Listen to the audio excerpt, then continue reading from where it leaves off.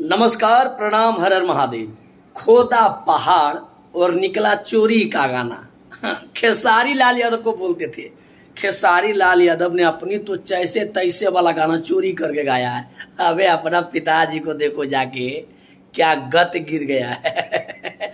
ये लोग बहुत दिन से उत्साह में था कि अब तो इतना दिन के बाद, पाँच साल छठ पूजा के बाद हमारा स्टार का गाना आया है।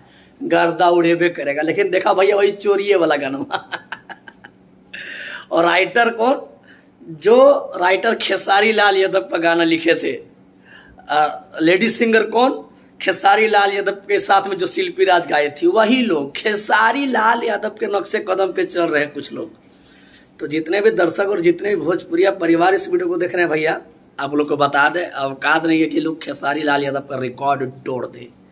जिस दिन रिकॉर्ड खेसारी लाल यादव का टूटने लगाना तो समझ लीजिए भोजपुरी खतरे में है।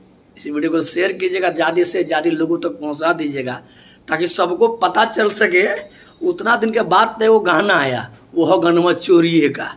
बाकी कोई बात नहीं, सारे गाँव हम भोजपुरी के जो ऑनर हैं, उनको बहुत बहुत बधाई। इस तरह स्टार को भैया जो डूब रहे हैं, जिनका नैया डूब चुका है, उसको आप लोग मौका दे रहे हैं। इसके लिए बहुत बहुत धन्यवाद आप लोग।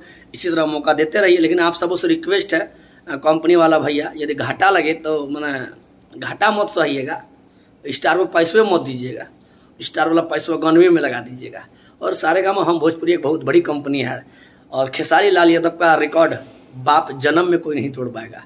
बाकी शेयर कीजिएगा वीडियो को। I love you